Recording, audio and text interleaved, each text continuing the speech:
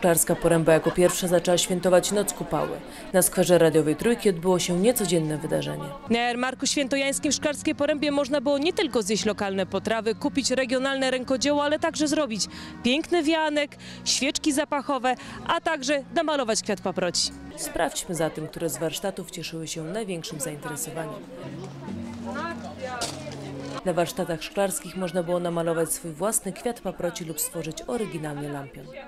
Wszystkie prace są niesamowite, każda jest inna i wszystkie mnie bardzo zaskakują, szczególnie jak przychodzą młodzi mężczyźni, którzy najpierw mówią, że nie chcą malować, tylko siostra będzie malować, a oni potem namalują przepięknego kwiatka i wręczają go mamie.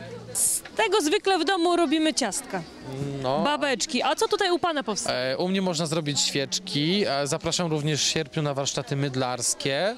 E, No i jeszcze będą kremy. Także możecie przyjść, wykorzystać to, co jest na stole i skomponować coś naprawdę rewelacyjnego. Zapach lawendy, płatków róży czy bergamotki mieszał się z wonią polnych kwiatów, z których każdy mógł zrobić wianek. Czy każdy może zrobić wianę? Tak, każdy. Zapraszamy serdecznie wszystkich. Jak ktoś nie umie, to nauczymy. Jakie kwiaty najbardziej pasują do wianka? Z długimi łodygami i giętkie. Tylko dla panien? Również dla pań i panów. Dzisiaj dla wszystkich. Na przybyłych czekały nie tylko warsztaty, ale także zabawy dla całych rodzin i wystawa pracy grupy P-Art. Niesamowite były stoiska z rękodziełem średniowiecznym. Można było uczestniczyć w wykuwaniu biżuterii lub zobaczyć, jak tka się na przykład krajkę, która dziś może być ciekawym dodatkiem do ubrań. Ozdoby y, tkackie są bardzo eleganckim i nietypowym wykończeniem stroju. Bardzo ładnie prezentują się z sukienkami letnimi. Można wykorzystać je jako pasek do jeansów. y, Można zrobić z tego ramionczko do torby. Podczas jarmarku świętojańskiego można było spróbować polewki nadgórzańskiej czy powracających do łask podpłomyków, które można było jeść z różnymi dodatkami.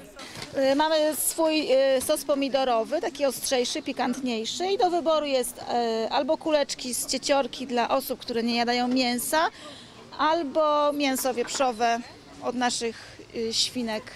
Ale warzywka też? I lokalne, tak, nasza sałata ogródkowa, pomidorki, y, ogóreczki, sos y, jaglany, sos czosnkowy, to już potem do wyboru, jak kto woli. Związki Szklarskiej Poręby z Nocą Świętojańską są bardzo silne. Tradycja sobótki jest bardzo silna właśnie tutaj w Szklarskiej Porębie pod Szrenicą, bowiem kilkadziesiąt lat temu, przed II wojną światową, ówcześni mieszkańcy niezwykle byli przywiązani do tego dnia. Tutaj przyjeżdżały pociągi z całych Niemiec, tutaj te obchody Nocy Świętojańskiej trwały przez tydzień i my w tym roku trochę do tego powracamy. Jarmark Świętojański to był dopiero początek. Wieczorem barwny pochód przeszedł ulicami miasta, by do nocy bawić się przy ognisku i muzyce na żywo.